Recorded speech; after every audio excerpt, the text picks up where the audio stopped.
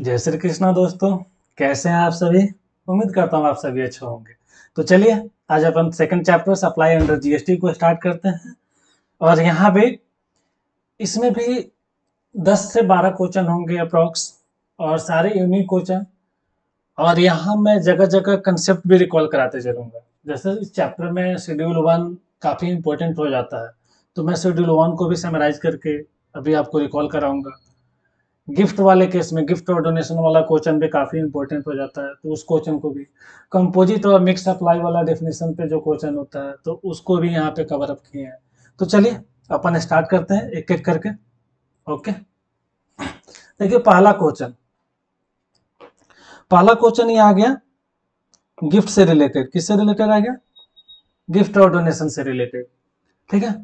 तो ये रुद्राक्ष कपूर एक पब्लिशिंग हाउस है। कहीं गिफ्ट डोनेशन कर रहे हैं चैरिटेबल ट्रस्ट को तो इसमें क्या कीवर्ड्स आपको याद रखने चाहिए? तो चलिए पीछे यहाँ पे समराइज किए हैं कि जीएसटी हम लेविएबल नहीं करते हैं नॉट लेविएबल जब ये तीनों के तीनों कंडीशन सेटिस्फाई करेंगे। कंडीशन क्या? सीजीपी हम लोग ऐसे भी किसी से बोलते हैं, बोर्ड में भाई तेरा क्या सीजीपी है?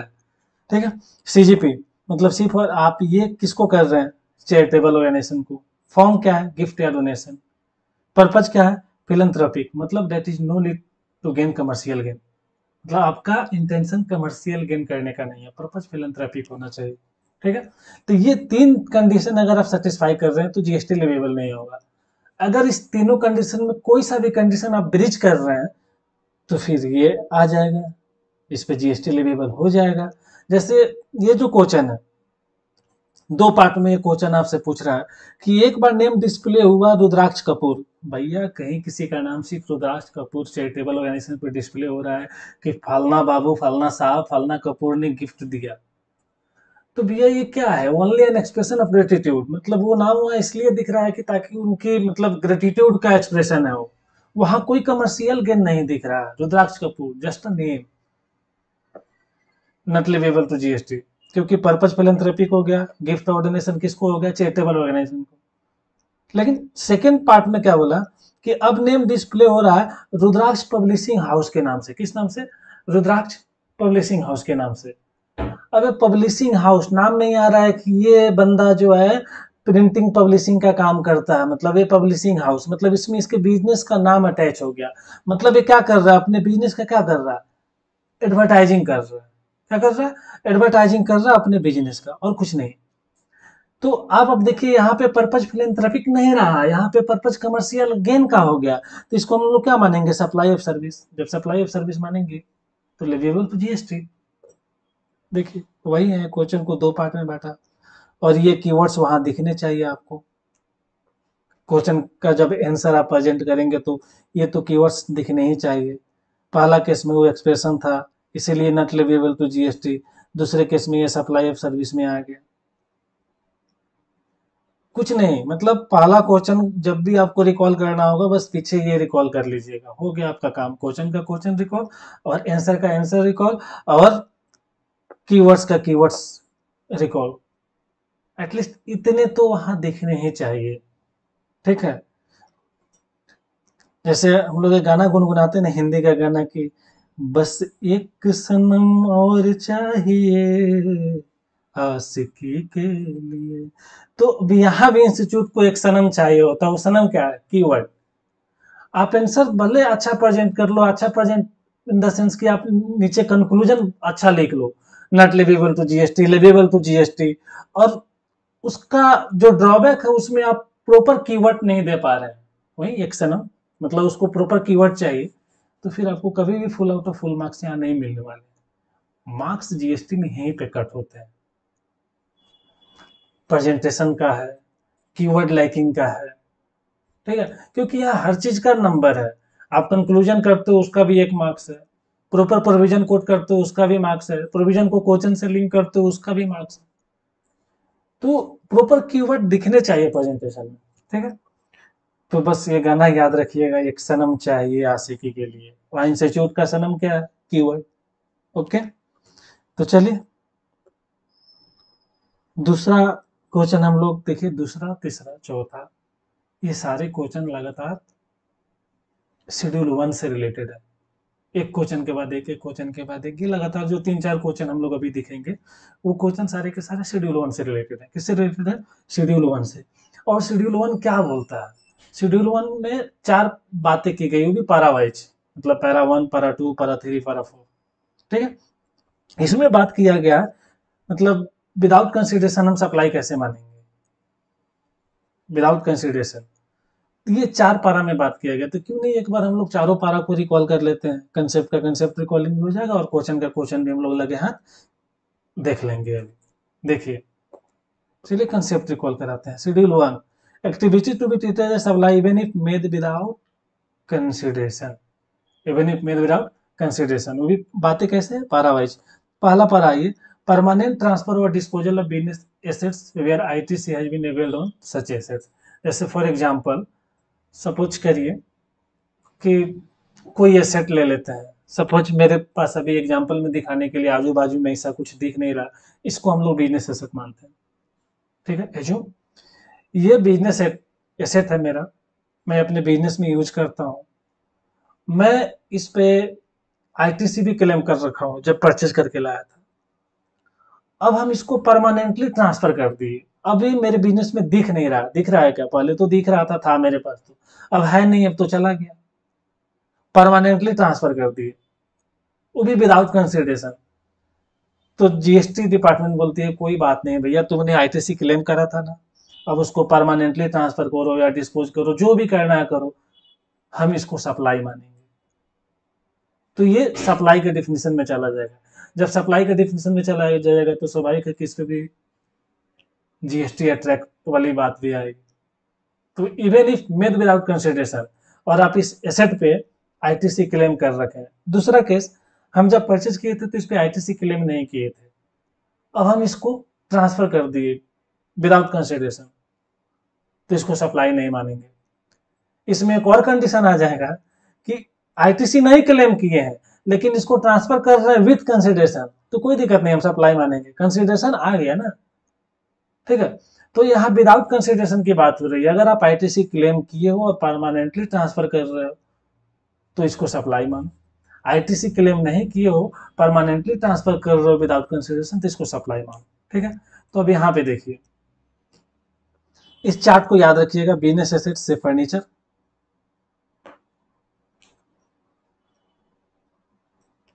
से फर्नीचर जैसे आप आई आईटीसी अवेल किए हैं और विथ कंसिडरेशन तो तो कोई बात नहीं सप्लाई मानो। विदाउट कंसिडरेशन है, फिर भी सप्लाई मानो। क्यों? क्योंकि आपने आईटीसी अवेल करा ITC not avail ITC not avail sold without consideration sold without consideration और sold with consideration with consideration है तो सप्लाई बात यहाँ विदाउट कंसिडरेशन की है नॉट अ सप्लाई क्योंकि आप आईटीसी अवेल नहीं किए तो पहला पारा हम लोग रिवाइज किए। सेकेंड सप्लाई ऑफ़ गुड्स और सर्विस बिटवीन रिलेटेड पर्सन और डिस्टिंग पर्सन देखिए रिलेटेड पर्सन के बीच में कुछ तो समझ रहे हैं बात को? कुछ तो गोलमाल है, भाई सब गोलमाल है। रिलेटेड पर्सन के बीच में ना ज़्यादा गोलमाल वाली चांसेस होती है। तो अब यहाँ भी एक प्रोविज़न अटैच किया गया कि अगर आप रिलेटेड पर्सन के बीच में कुछ ऐसा ट्रांसफ़र करते हैं जहाँ पे कंसिडरेशन नहीं है, सब विदाउट कंसिडरेशन गोल गोल घुमाए जा रहे हैं तो इसको भी हम लोग सप्लाई मानेंगे। आपको इसके लिए दो कंडीशन सेटिस्फाई करना होगा। एक तो रिलेटेड पर्सन होना चाहिए। दूसरा प्लस देखिए प्लस का साइन है। मेड इन द कोर्स और फर्दरेंस ऑफ़ बिज़नेस मतलब बिज़नेस के यूज़ में in the course of furtherance of business तभी इसको हम सप्लाई मानेंगे। अब रिलेटेड पर्सन है, लेकिन वो पर्सनल पर्पज के लिए उसको ट्रांसफ़र कर रहे हैं। पर्सनल पर्पज में यूज़ कर रहा है। तो ना ना बाबा, ना। दो, एक तो रिलेटेड पर्सन दूसरा इन द कोर्स और फर्दरेंस ऑफ़ बिज़नेस होना चाहिए। और विदाउट कंसिडरेशन है तो सप्लाई मानो। तीसरा पारा प्रिंसिपल टू एजेंट और एजेंट टू प्रिंसिपल। भैया, इसमें एक बात याद रखना है, ये रिलेशनशिप तभी माना जाएगा, प्रिंसिपल और एजेंट के बीच का लव तभी माना जाएगा, जब इनवाइस इशूड हो किसके नाम पे? एजेंट के नाम पे। किसके नाम पे? एजेंट के नाम पे। Invoice issued by the agent in its name खुद के नेम पे हो। जैसे यहाँ पे चार्ट में in the name of agent yes schedule one para three में आ जाएगा। In the name of principal ये यहाँ आएगा ही नहीं। शेड्यूल वन पारा थ्री में कवर अप ही नहीं होता। ठीक है? Para four import of service से रिलेटेड बनाया गया। भैया, एक बात तय है एकदम, बिल्कुल इम्पोर्ट इम्पोर्ट ऑफ़ कंसिडरेशन में एक चीज़ हमेशा याद रखिएगा। इम्पोर्ट ऑफ़ सर्विस के केस में सॉरी इम्पोर्ट ऑफ़ कंसिडरेशन बोले इम्पोर्ट ऑफ़ सर्विस के केस में आप हमेशा आँख बंद करके, अगर इम्पोर्ट ऑफ़ सर्विस है विथ कंसिडरेशन है, क्या है? विथ कंसिडरेशन पैसे के लेन देन से सब चीज़ इम्पोर्ट कर रहे हैं आप। तो ये ऑलवेज सप्लाई माना जाएगा। हमेशा के लिए सप्लाई ये वर्ड क्यों बोल रहा है? ऑलवेज सप्लाई ऑलवेज सप्लाई वो चाहे आपके बिज़नेस यूज़ का हो या पर्सनल यूज़ का हो। यहाँ देख रहे हैं वर्ड पर्सनल को भी कवर करो। ऑलवेज सप्लाई वो चाहे आप बिज़नेस यूज़ में करो या पर्सनल यूज़ में करो। अगर इंपोर्ट ऑफ़ सर्विस का केस है विथ कंसिडरेशन है तो आपके लिए क्या होगा? ऑलवेज सप्लाई होगा। क्या होगा? ऑलवेज सप्लाई ठीक है?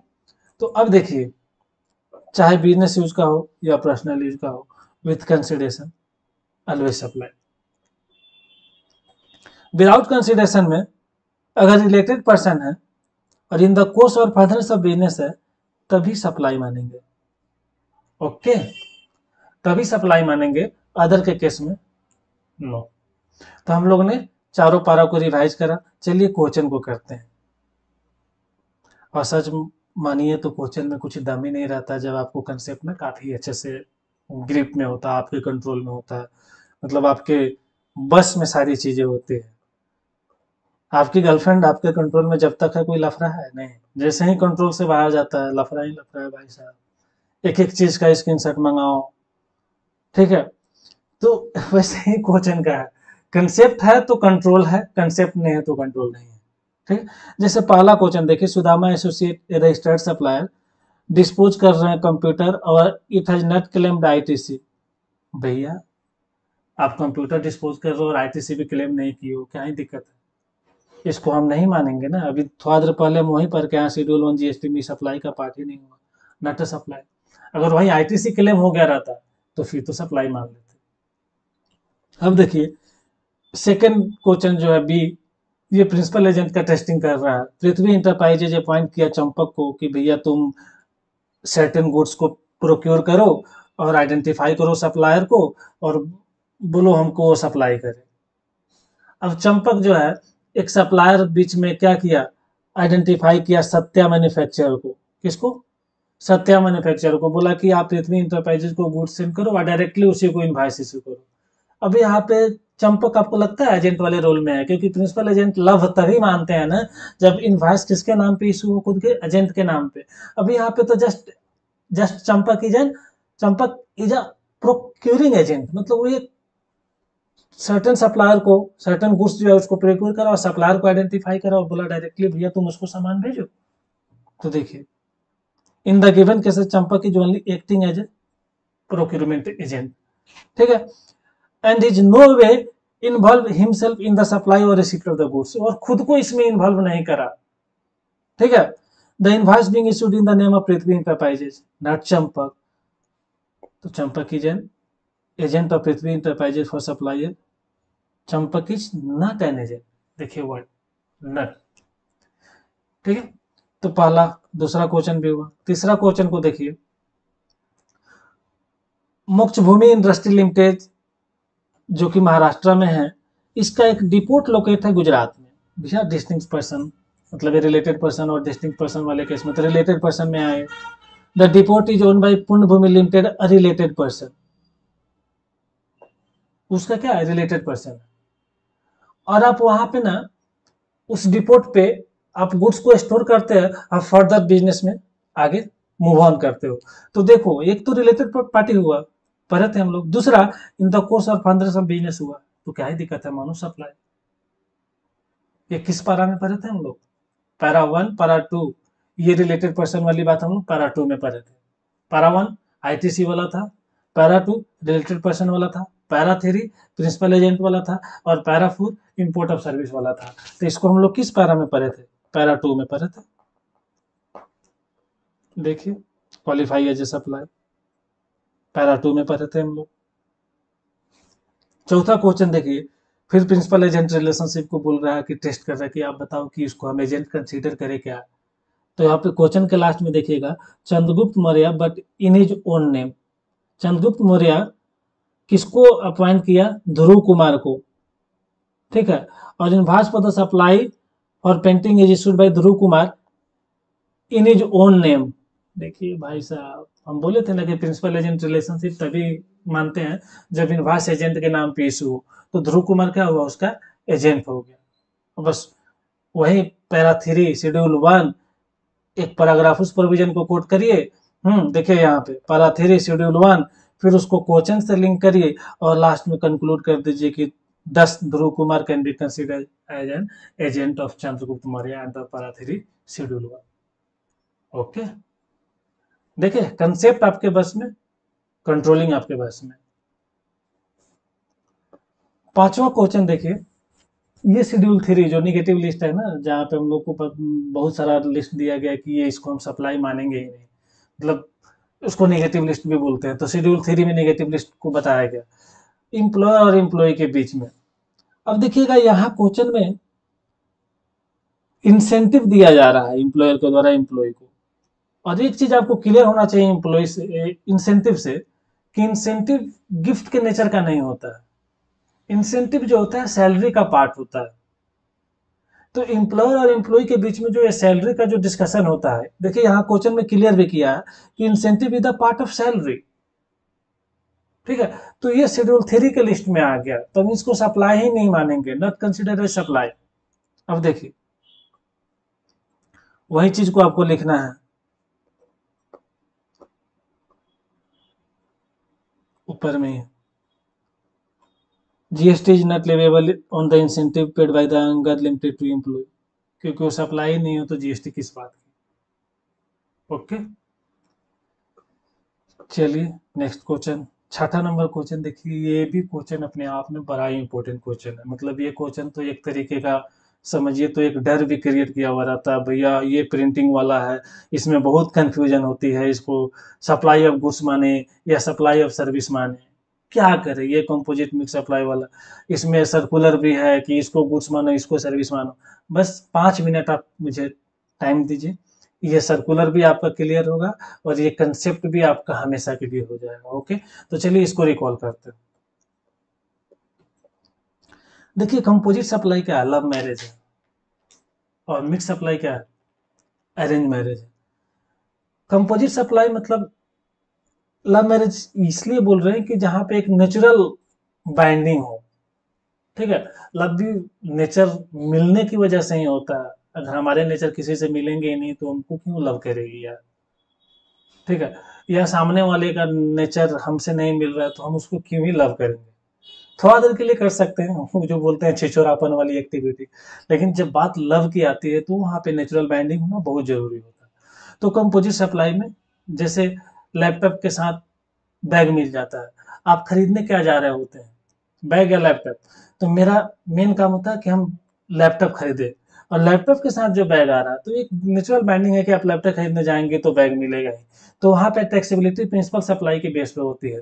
मतलब अगर बैग पे अलग जीएसटी रेट है और लैपटॉप पे अलग जीएसटी रेट है तो बैग पे भी वही जीएसटी लगेगा जो लैपटॉप पे लग रहा होगा according to principal supply according to principal supply mix apply के केस में taxability supply that tax highest rate of tax जैसे लिपस्टिक हो गया फेस वॉश हो गया क्रीम हो गया, कंघी हो गया, साड़ी हो गया।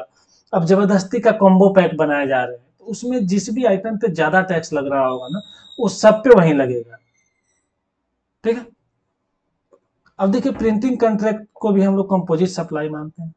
पहला ये तो क्लियर किया कि प्रिंटिंग कंट्रैक्ट है कंपोजिट सप्लाई ओके अब देखिए only content is supplied by the publisher जो पब्लिशर के द्वारा सिर्फ़ कंटेंट सप्लाई होगा। जैसे एज ए राइटर अगर मैं कोई बुक लिख रहा हूँ, कोई बुक पब्लिश करवाना चाहता हूँ तो आप सोच के देखो हम क्या देंगे? ए पब्लिशर हमको कोई बुक पब्लिश करवानी है, ठीक है?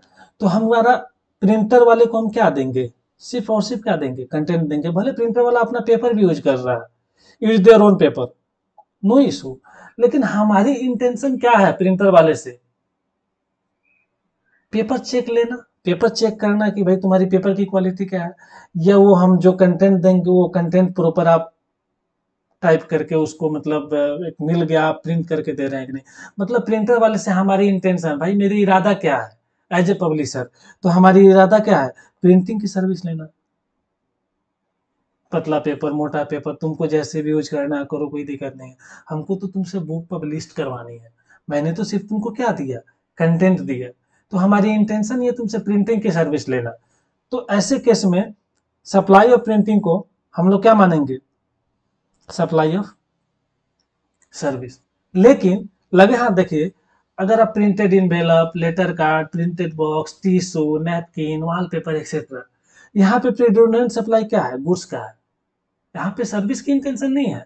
यहाँ पे हमारी इरादा ही है कि भैया इनवेलप बढ़िया होना चाहिए बढ़िया क्वालिटी का लेटर कार्ड बढ़िया क्वालिटी का होना चाहिए टिश्यू आप समझ रहे हैं बात को?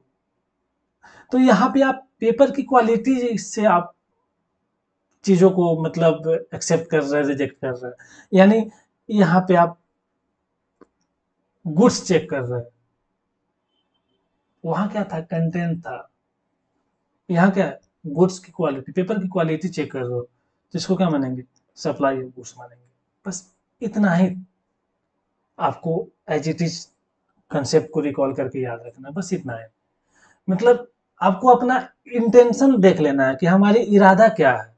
जैसे क्वेश्चन पढ़ने से भी क्लियर हो जाता है कि वो उसकी इरादा क्या है। वो सर्विस गुड्स इरादा पे ही। ठीक है? तो अब देखिए। क्वेश्चन को करते हैं, प्रिंटिंग वाले क्वेश्चन को। देखिए, Satyam printer is a printing house registered under GST okay? It's receive an order of printing पाँच हज़ार copy of a book on जोगा। जोगा का जो पाँच हज़ार कॉपी आपको प्रिंट करना है। और the content of the book देखिए वर्ड आ गया। Content of the book is to be provided by the Yoga guru to Satyam printer Joga Guru sheet क्या प्रोवाइड करेंगे? कंटेंट प्रोवाइड करेंगे। मतलब यहाँ जोगा गुरु वाले को क्या इंटेंशन है? इरादा क्या सत्यम प्रिंटर वाले से? सत्यम प्रिंटर वाले से? पेपर की क्वालिटी नहीं। आप एक बुक पब्लिश तो करवाना चाहते हैं मतलब ये सिर्फ़ कंटेंट प्रोवाइड कर रहे हैं तो ये सप्लाई ऑफ़ सर्विस में आ जाएगा। तो सर्विस पे 18 परसेंट और गुड्स पे है 12 परसेंट लेकिन आप यहाँ पे सर्विस आपका इंटेंशन है तो हमारी टैक्सेबिलिटी वाली रेट भी क्या होगी? अठारह परसेंट होगी। तो पहले तो कंपोजिट सप्लाई का डेफिनेशन लिख दो, जहाँ की नेचुरल बैंडिंग हो और टैक्सेबिलिटी प्रिंसिपल सप्लाई के बेस से होती है। फिर आप इस सर्कुलर को लिखना है जी टीज तो ठीक है, नहीं तो मत लिखो। वो जो अभी चार्ट में बताया टिशू टिशू नेपकिन वगैरह वगैरह, वो। फिर आपको लिखो प्रिंसिपल सप्लाई के हिसाब से कंपोजिट में टैक्सेबिलिटी होती है। फिर उसको एक क्वेश्चन से थोड़ा सा लिंक कर दो, ठीक है? और लास्ट में बता दो, ये प्रिंटिंग ऑफ़ सर्विस हुआ। अठारह परसेंट से टैक्सेबिलिटी होगी। ओके ना?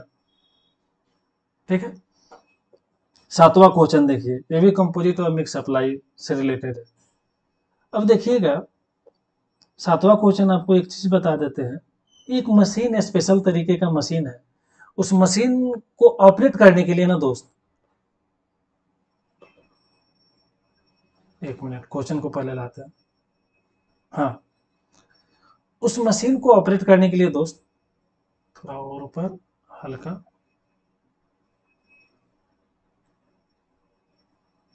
हम्म चलिए उस मशीन को उस मशीन को जैसे ही सप्लाई करते हैं उसके साथ मैन पावर भी सप्लाई करना पड़ता है। आप समझ रहे हैं बात को? मतलब कंपोजिट सप्लाई जैसा फील आ रहा है।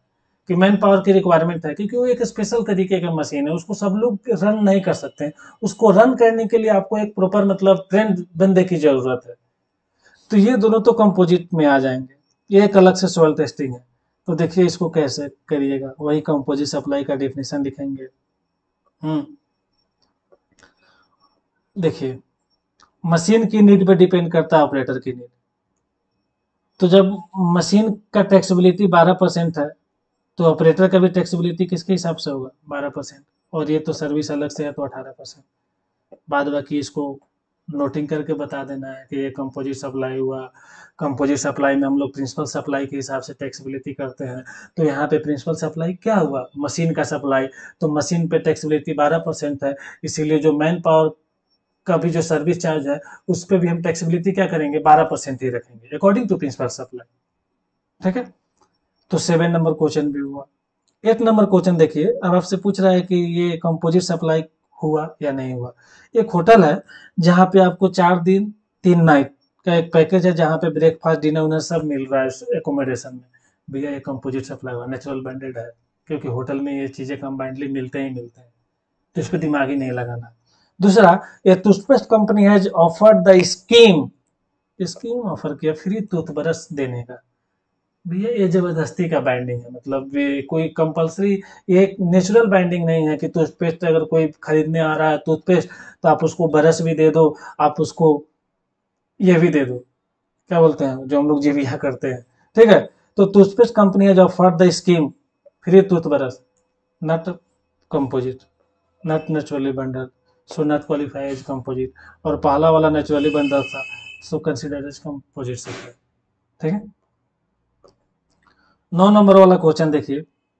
आपको एक चीज़ बता देते सिक्योरिटी भी जैसे आपको सिक्योरिटी से रिलेटेड कुछ भी होता है ना सप्लाई तो पहले दिमाग में ही रखना है कि ना इधर गुड्स ना सर्विस नहीं उसको हम गुड्स ट्रीट करते हैं, ना ही सर्विस ट्रीट करता है।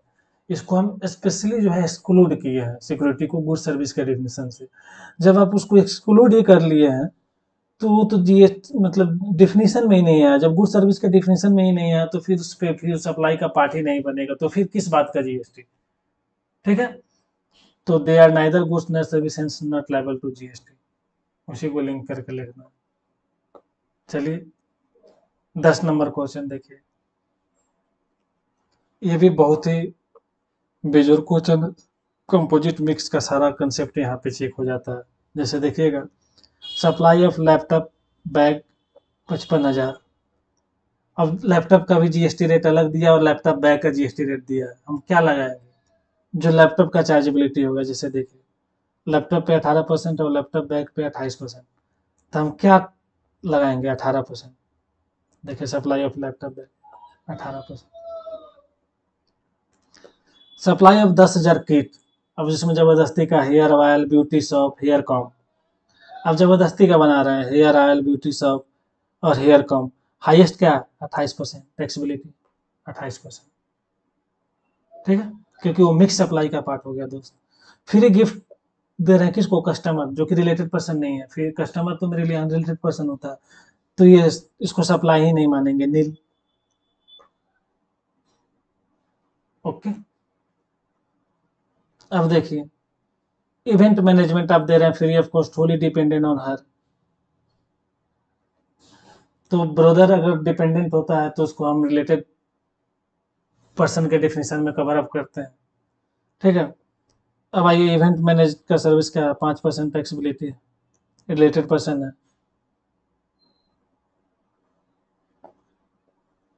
देखिए even it made without consents it is an individual supply it will tax at the rate on the set services पाँच परसेंट ओके अब देखिए, आप चौदह सौ चेयर और एक हज़ार कूलर हायर आउट किए, तीन लाख तीस हज़ार में, कोई बात नहीं। इंक्लूडिंग कॉस्ट ऑफ़ ट्रांसपोर्टेशन जो कि casual not a G T A transportation service provider ये एग्जाम्प्ट भी है। तो आप एक बात बताइए service of renting of chair and cooler पे टैक्सीबिलिटी क्या है? बारह परसेंट आ जाइए। बारह परसेंट बस यही बताना है और आपको पाँच नंबर लेने थे पाँच पॉइंट पे। एक एक नंबर थे सबके। आसान है दोस्त। कंपोजिट सप्लाई का डेफिनेशन कोट करना था। लास्ट क्वेश्चन जो कि जस्ट दो अटेम्प पहले का पूछा हुआ क्वेश्चन है। और यहाँ पे भी वही जो क्वेश्चन नंबर दस की तरह ही है। ठीक है? यहाँ पे एडिशनल में टैक्सबिलिटी निकलवाया कि आप टैक्स भी निकाल के बताते चलो। है, पिछले क्वेश्चन जैसा है। वहाँ सिर्फ़ आपसे बताया कि आप बताओ कि ये मतलब इस पे टैक्स रेट क्या होगा? यहाँ पे आपसे टैक्स भी निकलवा लिया अब देखिए। Supply of designer sari dress packed in designer box in a body भाई, सारी डिज़ाइनर बॉक्स में ही आता है। ठीक है? तो डिज़ाइनर डिज़ाइनर बॉक्स का टैक्सबिलिटी जो कि जो सिल्क साड़ी का टैक्सबिलिटी होगा, क्योंकि ये कंपोजिट सप्लाई होगा। ठीक है? अब आइए। सिल्क ड्रेस पे अठारह परसेंट है और डिज़ाइनर बॉक्स पे अट्ठाईस परसेंट, लेकिन टैक्सबिलिटी हमारी अठारह परसेंट होगी ओके ना? अब C G S T G S T I G S T place of supply में हम लोग डिस्कस करेंगे बेसिकली कि कहाँ आई जी एस टी लगेगा, कहाँ सी जी एस टी लगेगा। हालाँकि एक बार मैं यहाँ भी आपको कोशिश करूँ कि क्यों आई जी एस टी लगाया गया। तो देखिए, ये अपने आप कहाँ, पंजाब में है। और इनकी लोकेशन कहाँ? मुंबई में है। तो इंटरेस्टेड सप्लाई होगा तो आई जी एस टी लगेगा ओके अब देखिए दूसरा क्वेश्चन मतलब इसमें एक किट है ज़बरदस्ती का सिल्क दुपट्टा, साड़ी ब्रूच और लिपस्टिक है। Amritsar, Punjab. Within state है मतलब C G S T S T वाली केस हो जाएगी। और ये मिक्स सप्लाई मतलब ज़बरदस्ती का कॉम्बो पैक बना रहे हैं सिल्क दुपट्टा, साड़ी ब्रोच और लिपस्टिक अब देखिए silk dupatta, sari brooch lipstick highest क्या है? अठारह। आ जाइए। नौ नौ percent C G S T G S T देखें, अब आइए, तीसरा।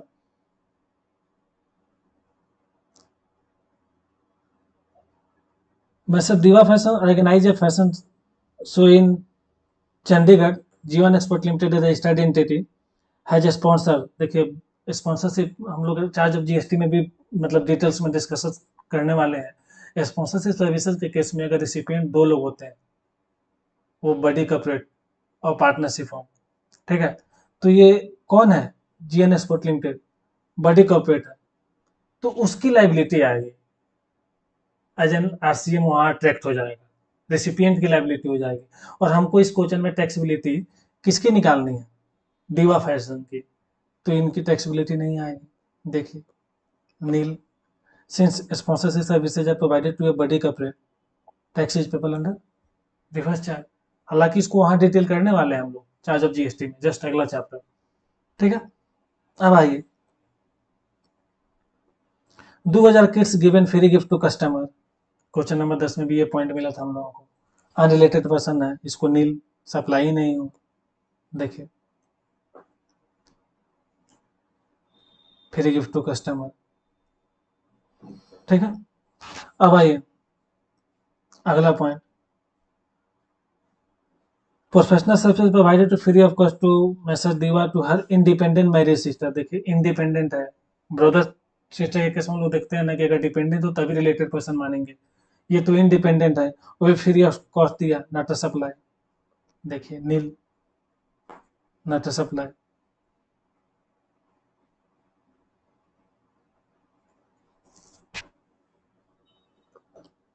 ये नील था। हाँ चलिए। नील हो गया। अब आइए आगे, अगला पॉइंट और ये लास्ट पॉइंट है शायद। दिवा फ़ैशन इंटर इंटू कंट्रैक्ट और वो क्या किया, उसको ब्रिज कर दिया, बीच में उसको कंपनसेशन भरना पड़ा। ठीक है, तीन साल मतलब वो बिफोर ही कर दिया। ठीक है तो इस केस में ना पहले सर्कुलर नहीं आया था। आपको हम जस्ट तीन चार आइटम पहले की बात बता रहे हैं। लेकिन बाद में इसको सर्कुलर आके क्लरिफाई किया गया कि ये लिक्विडेटेड डैमेज जो होता है ना merely breach of compensation of loss है। इसको आप टर्मिनेशन ऑफ़ कंट्रैक्ट से लिंक मत करो, ठीक है? तो इसको हम नील लाते इसको सप्लाई में, क्योंकि जस्ट मेयरली क्या? कंपनसेशन ऑफ़ लॉस है। इसीलिए इस पे भी टैक्सेबिलिटी नहीं है, देखिए, और वहीं किया होगा liquidity damage there are merely compensation for loss due to breach of the contract and not for the consideration for tolerating non performance contract खत्म। तो देखें हम लोग सप्लाई अंडर जीएसटी में एक एक क्वेश्चन को टोटल ग्यारह क्वेश्चन थे। बहुत बारीकी से एक एक क्वेश्चन को हम लोग डिस्कस किए जगह जगह कंसेप्ट को भी रिकॉल करते चले। ठीक है? मतलब यही ओवरऑल कंक्लूजन निकलता है ना कि कंसेप्ट आपके बस में है ना तो भैया क्वेश्चन आपके बस में ठीक है? दूसरा था मतलब कंसेप्ट को रिकॉल करने के लिए भी थोड़ा सा मतलब हमको ऐसा लगता है कि सामने वाले, हम हो या कोई भी, या खुद मतलब जब तक आप अपनी इंटरेस्ट भी नहीं बनाइएगा ना किसी भी टॉपिक के ऊपर तो ये आपसे कुछ दूर भागते चला जाएगा। तो थोड़ा सा इंटरेस्ट आपको बनाना पड़ेगा। ठीक है? थोड़ी हमारे भी प्रयास रहेगी कि आपके अंदर इंटरेस्ट डेवलप कर सके थ्रू निमोनिक थ्रू सॉन्ग जैसे भी हो। ठीक है? तो डिज़ाइन डिज़ाइन का एग्ज़ाम्पल ठीक है? तो हमारी भरपूर प्रयास रहेगी। बस आप भी एक छोटा सा प्रयास रखिए, आप अपनी चाहत को डेवलप करिए, ठीक है? चाहत ना होती तो कुछ भी ना होता तो भी ना होती और मैं भी ना होता, ठीक है? तो हम लोग आज सप्लाई अंडर जीएसटी को किए। अगली वीडियो चार्ज ऑफ़ जीएसटी जिसमें कंपोजिशन चैप्टर भी होगा, ठीक है? तो मिलते हैं नेक्स्ट वीडियो में, ठीक है? मिलते हैं। जय श्री कृष्ण दोस्तों।